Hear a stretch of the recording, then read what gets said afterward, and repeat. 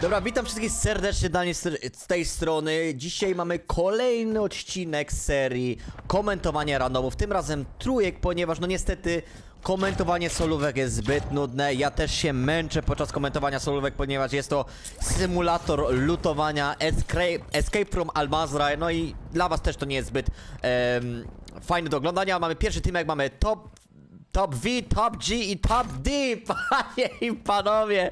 Top G, Top V i Top D. Typowy teamek, który gra ze sobą chyba przez, e, przez cały czas. Naprawdę ciekawe niki. Będzie nam łatwo ich em, określić i będzie nam łatwo, nam łatwo ich nazywać. No dobra, ale jak to tradycja nakazuje, sprawdzamy kto to ma najwięcej fragów i wyjaśnię wam dlaczego któryś z nich ma koronę. Więc często jest taka taktyka. Top G, aktualnie z koronką, tak mi się wydaje, tak jest. I teraz często się bierze koronę na początku, po to, żeby właśnie zebrać siano. Jeżeli lądujemy na lokalizacji, w której nikt nie lądował, bo zazwyczaj to widzimy, bierzemy koronkę i otwieramy skrzynki. Teraz poprzez to, że otwieramy skrzynki, chyba, chyba wydaje mi się, że ktoś jest pod nim, tak mi się wydaje, że ktoś jest pod nim, czyli jego kolega tu lutuje. Nie jestem pewny, chyba jego kolega tu lokuje. Mimo wszystko, kiedy otwieramy skrzynki, plecaki, apteczki, to zmniejszamy czas trwania koronki o 10 sekund. Więc jesteśmy tak naprawdę w bardzo szybkim tempie zrobić tą koronkę. Każdy dostanie dosyć sporo pieniędzy, no i jesteśmy w stanie kupić po prostu nasz zrzut uzbrojenia. Więc też ma to sens, żeby po prostu em, tą koronkę wziąć, nie, niekoniecznie po to, aby wykupić, czy tam odrodzić naszych e, teammateów. Eee, więc tak, pieniążki pewnie rzucone przed sklep. Nie, nie zbierają na zrzut, kupują sobie bronie. Bardzo ciekawe. Jak najbardziej tak można. No po to są te bronie na sklepie, żeby je kupować. Ale wydaje mi się, że mieli wystarczająco dużo pieniędzy, żeby po prostu kupić zrzut uzbrojenia. No ale ich decyzja. Mają, może mają inną taktykę. Może zbierali... Nie, kupili dwie bronie. No dobra, ja bym osobiście tego nie zrobił, skoro mieli 16 tysięcy, ja kupiłbym zrzutu zbrojenia. No ale jest jak jest, ich decyzja i zobaczmy co nam zaprezentują. Top G na padzie. Ewidentnie widać na padzie, Hemlock troszeczkę pod szybszego ADS-a. Dobra panowie, co my tutaj robimy? Co my tutaj robimy? Top G... Top G jeden z takich mniej agresywnych graczy mi się wydaje, albo nie wiem, patrzy na czat, albo idzie wolniej. Na razie jego movement nie sugeruje, że jest agresywnym graczem, że jest bardziej zaawansowanym graczem. Top V, taksówkarz, podjechał po kolegę. Dobra, rzucamy pieniążki. Jaka jest decyzja, panowie? Co my tutaj robimy? Kupujemy BSP może? Może kupujemy BSP i podjeżdżamy teamek? Fajnie by było. Ile wydane pieniążków? BSP, tak jest, tak jest, tak jest, kupione BSP. Macie jeszcze bounty na plecach, to by było fajne, gdyby się podnieśli te bounty z tyłu, podjechali autkiem. Top G, Top G, co robimy, co robimy, panie, co robimy, na co czekamy? Dobra, już, już, już przestajesz czytać czat, tam przestajesz pisać smsy do dziewczyny, cokolwiek? Lecimy? Lecimy, dobra. Tak, mamy BSP. Top V prowadzi, Top D jako pasażer, no i Top G z BSP. Więc prawdopodobnie zaraz spali to BSP. Co tutaj się dzieje? Zaraz spali BSP i może będziemy mieli jakiś podjazd. Okej, okej. Małe lagi, małe lagi, tarapaty. Wiem, że ciężko się to ogląda. Małe lagi. Nic nie zrobimy, trudno. Dobra, dobra, jeden z nich wysiadł, jeden wysiadł, jeden wysiadł. Nie wiem, czy się zdali sobie sprawę, że wysiadł, czy nie? Okej, okej, panowie, co robimy, co robimy? Tab, tab D został, dobra, ja muszę go zmienić, nie da się tego oglądać. Top V, top G, top D. Ale zabieramy kolegę. Mamy teamek na sobie? Nie, to jest twierdza, to są boty, to są boty. Dobra, top V zaparkował. Top V też z jednym fragiem. Victus, ciekawa opcja. Osobiście uważam, że MCPR 300 jest lepszą opcją, ale widzę, że Victus też ma dosyć przyjemny ADS, ok. Fajnie zbudowany Victus z przyjemnym ADS-em. Okej.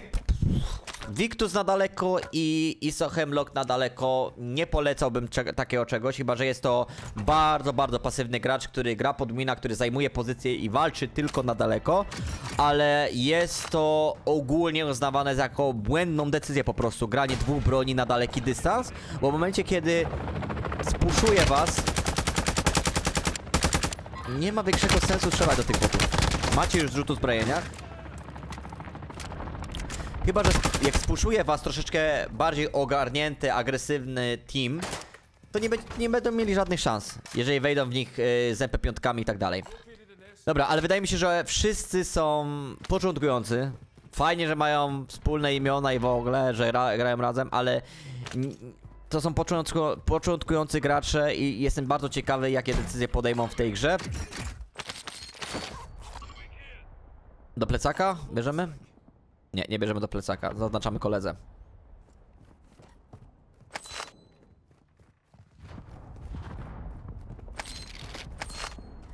Macie bardzo dużo pieniędzy. Teraz co mogą zrobić z tymi pieniędzmi, to się głównie nimi podzielić. Jeżeli na tym sklepie nie będzie BSP, niech każdy z nich weźmie po 4000 i niech niech się, niech się podzielą na wszelki wypadek. Dobra. Mamy typowy team snajperów, którzy grają o, na daleki dystans, którzy będą strzelać, będą wchodzić na trzeciego. Jest to, jest to sposób na wina, jest to jak najbardziej... Jest to jak najbardziej dobra metoda, ale na całe szczęście marnujesz nalot. W tym momencie marnujesz nalot. Nic ci ten nalot za bardzo nie da. Nie masz zamiaru ani ich spuszować, nie masz zamiaru... Puściłeś ten nalot na siebie, ponieważ te tekstury w tej grze są beznadziejne. Więc znam ten ból. Okej, każdy z nich gra snajperką. Zakładam, że go nie trafisz. Nie trafi go dlatego, że nawet nie próbuje wyprzedzić celu. Strzela za niego i pod nogi. Kiedy strzelamy do kogoś na daleki dystans, musimy wziąć pod uwagę tak zwany bullet drop, czyli opad kuli i to, że ta kula musi tam dolecieć, czyli strzelamy przed niego i nad nim, żeby go trafić. On strzela za niego i pod nim. Dobra, mamy puszowanie perfidnie prosto na nich, co jest też wielkim błędem, bo oni, oni do nich snajpili przez cały czas. Oni się na nich ustawili, w miarę dobre strzały, miarę dobre strzały, powalony, tak jest. Od razu powinien lecieć, tak jest. Wiercący, bardzo dobrze. Przeładowanie broni. Ja bym, ja bym poświęcił trochę czasu na przeładowanie broni. Tamtej. Dobra, zmieniasz kąt. Bardzo dobrze, zmieniasz kąt. Boty lecą. Podnieś się. Twój kolega chyba ci zabierze fraga. Nie marnuj czasu na boty. Nie marnuj czasu na boty. Ja bym nie marnowała czasu na boty osobiście. Dobra, Timek, Timek, Timek top Zajął swoją pozycję, zajął twierdzę Top G podjeżdża Teraz oni się chyba uwalili na tym Uwalili się chyba na Ajajaj, ajajaj O, w końcu powalony teraz tego kolega powinien od razu wbijać z tymi granatami Powinien wbijać z granatami, od razu rzucać granaty na górę Granat, granaty, nie, nie, nie rób tego, nie rób tego, nie rób tego Granaty na górę. Tak, był powalony, ale granaty na górę, stun na górę i dopiero wtedy ewentualnie możesz wchodzić lub mógłbyś poczekać na kolegę, który też ma granaty i mógłby je rzucić, więc no podstawowy po prostu błąd. Napalanie się na fragi, jeżeli ktoś jest powalony, ok? Jak ktoś jest powalony, możemy być agresywniejsi, ale też musimy trochę myśleć. Dobra, ucieczka, widzicie, obo wszyscy mają, wszyscy mają bronię na daleko, a oni próbują bić się właśnie w jakby bliskim dystansie, co jest bez sensu i zakładam, że ten teamek po prostu zginie. Nie, nie wygrają z. Okej, ale mogę się mylić. Plecy masz. Plecy masz. Jeden. Dobra, mogę się mylić. Chłopaki mają więcej szczęścia niż rozumu. BSP na ziemi. Błagam to, wy podnieś to. Wydaje mi się, że już wszyscy tutaj nie żyją. Tak, zabiliście tych dwóch, którzy tam byli. Trafił nam się profesjonalny, początkujący team. I ten team tak naprawdę odzwierciedla umiejętności 90% graczy grających w Warzone'a. To nie jest tak naprawdę zły team. To nie jest to, że oni grają bardzo źle. Ale no, nie są, nie są to tak zwani spoceńcy, nie są to bardzo zaawansowani gracze i nadal nie podejmują najlepszych decyzji, mimo że teraz wyszli z tych decyzji jakby żywo i zabili ten team, który tam był, ale mieli sporo szczęścia. Trzeba, trzeba zauważyć, że mieli sporo szczęścia. Teraz jestem bardzo ciekawy ich kolejnej decyzji, no bo nie wydaje mi się, żeby mieli większy plan. Jeżeli by chcieli bardzo grać pod wygraną i tak dalej, już dawno po, powinni by się kierować powiedzmy na ten budynek tutaj, żeby zająć top tego budynku, poczekać aż te strefy się zamkną, następnie te strefy s- e, jakby z- zmniejszą się, a później złączą się w jedną strefę. Więc mogliby zająć ten budynek, sprawdzić czy tu jest na przykład BSP, odpalić BSP i przekierować się na te budynki tutaj, jeżeli bardzo chcą grać taktycznie i pod wina ze snajpami i na daleki dystans, powinni zająć te budynki i później z tych budynków mogą bardzo łatwy sposób zmienić pozycję do strefy. Taką bym decyzję podjął, no ale zobaczymy co oni tutaj zrobią. Już wiem chyba jak nazwę ten film, jak oni to wygrają.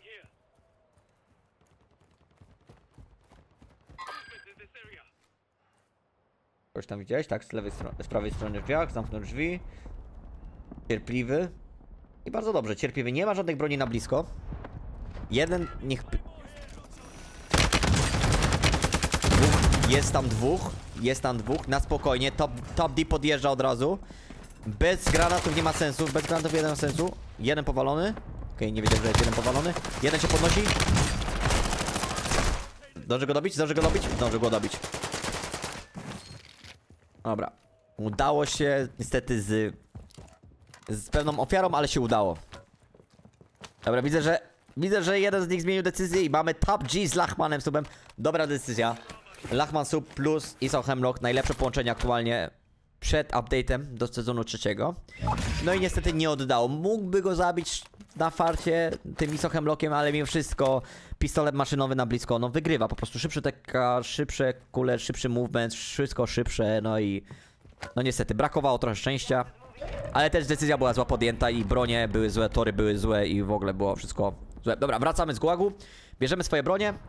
Tab V bierze swoje bronie i lecimy dalej. Tab G z, trze- z trzema fragami, Tab V chyba z dwoma, Tab D chyba z, też z dwoma. Więc nie jest źle, nie jest źle. Mamy 7 fragów na team. Najważniejsze, że się dobrze bawimy i gramy razem, nie? Teraz tak. Ja na ich miejscu pokierowałbym się z powrotem na Marszlancy, czyli na tamtą lokalizację, na której byli. Teraz ktoś tam się bije, no to można to zrobić troszeczkę ostrożniejszy sposób. Lub można odpuścić i kierować się na lewo przed szarą strefę, przed, przed te budynki na szarej strefie. Bo powtarzam, najlepiej do ich stylu gry Widzi chłopa? Tutaj. Jeden powalony. Od razu powinien, od razu powinien spać. Kiedy, kiedy widział drugiego, powinien od razu się wycofać za murek. Bo powalił jednego. Ja też bym pewnie agresywnie próbował strzelać do jednego, bym go powalił, ale bym się cofnął od razu za murek, uleczyłbym się, albo rzuciłbym flesza, granata i wtedy bym spuszował. Ok? Znaczy spuszował. Bym spikował na nowo, bym znowu spojrzał na nowo i bym zaczął strzelać. Drugi strzela do niego z prawej strony. Jak, za, jak nie, no właśnie, załóż kewy, bardzo dobrze. Powinien, jedna fleszka powinna lecieć. Jedna fleszka, jedna fleszka. Dobre strzały, dobre strzały. Druga fleszka, e, znaczy dobry granat. Niestety nie wiem, czy powalił, czy nie. Dobra, dostał fleszem. Z prawej strony boty. Dostał znowu fleszem. Oni się... Widzisz go? Nice, bardzo ładnie. Dobra, dobra, dobra. Będzie wykrzyknik jest, więc na spokojnie może go dobić. Teraz pytanie brzmi, czy oni powalili resztę. Nie jestem pewny, nie, nie mieliśmy żadnego powiadomienia, ani nic. Okej. Pomóż kolegom, przeładuj broń, pomóż kolegom. Lutowanie się zostało na później. Lutowanie na później. Dobra, udało im się. No, była jedna mała zła decyzja, którą już wyjaśniliśmy, ale mimo wszystko udało im się. Pokonali ten teamek. Dobry life mark. Teraz ten go flankuje, powinien przeskoczyć przez ten mur. Od razu puszuj, od razu puszuj. Od razu puszuj, na spokojnie. Zaznacz sobie go. Wchodzisz w ten budynek, tam nie ma wyjścia za bardzo. Nice. Bardzo ładnie. No i dobrze. Koledzy się podniosą.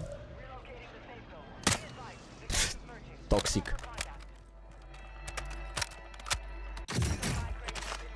BSP. Świetnie. Te chłopaki mają więcej szczęścia niż rozumu. Czaisz to, że jak teraz otworzy tą skrzynkę za nim, otwórz tą skrzynkę, drugie BSP wyleci, bo się odnowiły skrzynki. Kościół, błagam. A, on wie, że ktoś tu jest chyba, dlatego ignoruje tą skrzynkę. Tak mi się wydaje, że ktoś tu jest na BSP. Ale ten puszuje agresywnie, tamci się ustawiają. Białe skrzynki? Mi się wydaje? Nie, nie, nie białe skrzynki. Teraz jeżeli myślicie, że ktoś jest w kiblu, dobra, dobrym sposobem było strzelać najpierw. Bo jeżeli otworzycie drzwi, a ktoś jest spikowany z shotgunem albo z pompą, to to by były ciężary. Dobra, już go zaznaczyli. Elegancko skanują, zabity. Bardzo dobrze, bardzo dobrze zagrane. Wiem, że jeszcze jeden słyszałeś, Słyszałeś, że jest jeszcze jeden? Po co się odwracasz plecami? Jeszcze jeden tam był, mi się wydaje. Przynajmniej słyszałem kroki. Albo mi się coś wydawało, albo słyszałem kroki. Może, możliwe, że ciało się po prostu tam przeturlało, ale... ja słyszałem kroki. Chłopaki mają więcej szczęścia niż naprawdę rozumu. Bez urazy. Bez urazy. Dobra. Top D ma 43 tysiące. Mógłby się tym sianem podzielić. Mógłby z tego względu, każdy powinien mieć przynajmniej podwyżce. Bo załóżmy, że tylko jeden z nich zostanie, to zawsze mają pieniądze, żeby wszystkich wykupić. Za długo na tym sklepie. Za długo na tym sklepie. Relokacja kupiona? Co kupiłeś? Nalot kupiłeś, okej. Dalej, dalej, dalej, biegniemy, biegniemy, biegniemy. Dobra, top V wybieg troszeczkę do przodu. Jaką macie decyzję? Musicie biec do strefy. Musicie biec do strefy, musicie przebiec. Top V jest troszeczkę ostrożniejszy. Tak jest, naciśnij skok.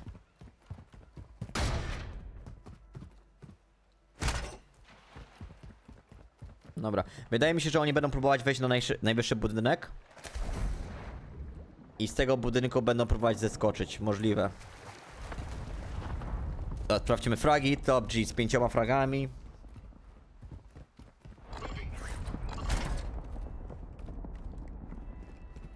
Top dalej. Top V z czterema fragami. No i top D pewnie z trzema fragami, tak mi się wydaje. 5, 4, 3. Jeden taktyczny, drugi z buta wjeżdża. Tak jest. Sześcioma fragami. A, top D, 6 fragów, let's go. Dobra. Mamy 6, 5, 4 fragi.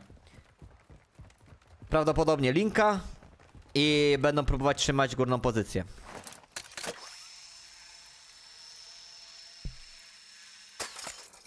Okej. Okay. Mogliby razem wjechać. Mogliby razem wjechać. Ale no, mają na wykupienie. Top D ma najwięcej pieniędzy, nie mają na wykupienie. Widzicie, to jest ten błąd, który tutaj popełnili. Który mógłby nie oddać. Ma tutaj za szybko. Nie powaliłby. Miał więcej szczę miał szczęście. Miał szczęście, że to był żuczek. Miał szczęście, że był sam. Teraz co mu się tu, co tu mogło pójść nie tak? Po pierwsze, Top D ma za dużo pieniędzy. Ma 44 tysiące, mógł się podzielić tymi pieniądza, pieniądzami z kolegami. W momencie, gdyby zginął, ze spokojem by mogli go wypuścić. Ja wiem, że Top V ma 5 tysięcy, ale mimo wszystko nie ma sensu, żeby miał tyle pieniędzy. Poczekaj, poczekaj, się zatrzyma. Nie ma sensu, nie ma sensu strzelać teraz.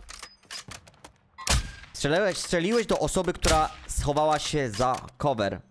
Nie powalisz na strzał. Marnujesz ostrzał kasetowy, co ci to da? Oni się tego schowają. Teraz coś się stało na dole, czyli mają teamek na dole. Tab V też również ma tarapaty. Tab V się z kimś bije. Tab G leci na sklep. A, na sklepie go zabili, okej. Okay. Albo szuka po prostu. Eee, Okej, okej, okej. Okej, tarapaty znowu, kłopoty Najmana. Teraz, teraz mamy problem. Gaz go goni. Już albo niech, gra za, niech zagra gaz, albo niech już leci. Jedno z tych dwóch. Zagrał gaz, dobrze, zagrał maskę. Bardzo mądrze, bardzo mądrze, że nie próbował skoczyć na gorącą... Z gorącą głową. Dobra, teraz... Masz team, który do ciebie bije z drugiej strony, który cię widzi. Wow, nie mają więcej szczęścia niż naprawdę. Nie ma sensu, żebyś leciał teraz na sklep. Leć do pozycji, tak jest. Za wcześnie, za wcześnie, za wcześnie, za wcześnie spadochron. Ja pierdzielę gościu ma... Dobra, wykrwaw się. Szybko się wykrwaw, tak jest. Dobra, nice, nice, bardzo dobrze. Wykrwawił się. Nadal ma dużo pieniędzy. Jest ucieczka z więzienia. Idzie co on tam zrobił? Zagrał gaz, zagrał mądrze, poczekał, ale próbował strzelać się z teamem, który jest pod nim, a tamci go cały czas widzieli. To było, to było bez sensu. Mógł skoczyć do tyłu, zagrać jakoś, wykorzystać tą maskę. Okej. Okay. Teraz tak. O, budzimy się, budzimy się, budzimy się, budzimy się. Lecisz, panie, panie, nie rób mi tego. Nie rób mi tego. Nie rób mi tego. Nie rób mi tego. Nie rób mi tego. Ja pierdolę, nie rób mi tego.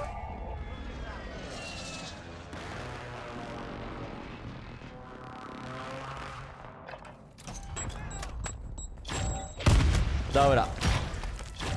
Szczęście się skończyło. Pozostał rozum. No i niestety, panowie skończyli grę. Widzimy się na kolejnym, na, w kolejnym lobby. Dobra, dobra, mamy teamek tutaj, dwa fragi. Yy, Gicu. I jeszcze Kal M368 THX. No i trzeci kolega, który niestety nie żyje. Nie mają pieniążków, a mają już pieniążki, żeby go wykupić, ale chyba za bardzo nie mają opcji. Tak, już nie mają opcji, żeby go wykupić. E, mamy jeden frag i dwa fragi. Okej, ISO Hemlock plus Waznie, bardzo dobre połączenie. Poruszają się o wiele szybciej.